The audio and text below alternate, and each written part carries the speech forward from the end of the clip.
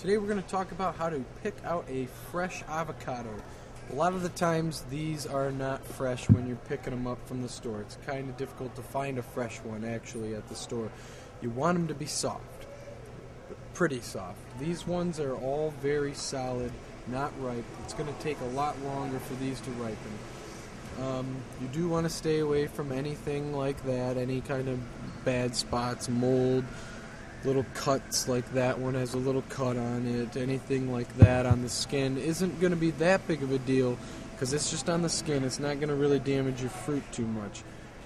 Since it is kind of hard to find a nice ripe avocado at the store because they're all going to be pretty solid and you want them to be soft, pretty soft. Um, there are a few methods you can do to speed up the process.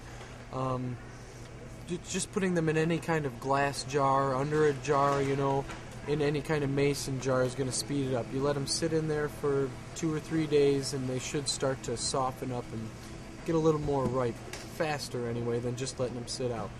Another thing you could do is put, you know, a few of them into a bag of flour and wait two or three days, and that should speed up the ripening process as well.